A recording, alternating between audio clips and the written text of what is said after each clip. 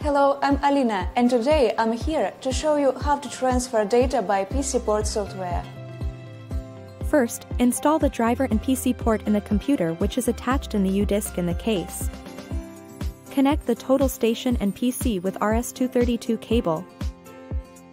Then set the port and baud rate in the total station. Choose Setting, then General. Press the page turn button, choose Port as RS-232C, and baud rate as 115,200. Check the COM port in Device Manager.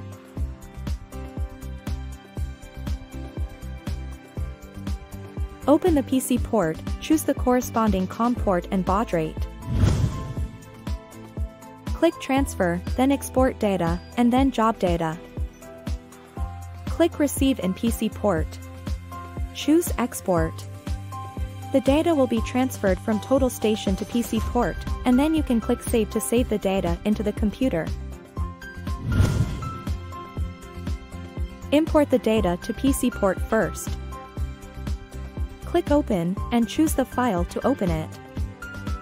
Click Transfer, then Import Data, and then Fix PT.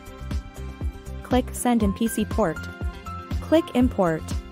After the data is imported, you can check the data in the Manage interface. That's all about transfer data by PC port software. Have you learned it?